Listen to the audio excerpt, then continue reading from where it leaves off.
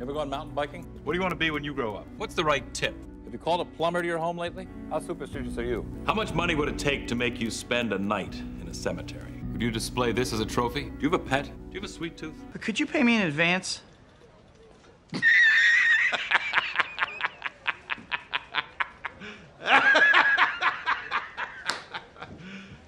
You serious?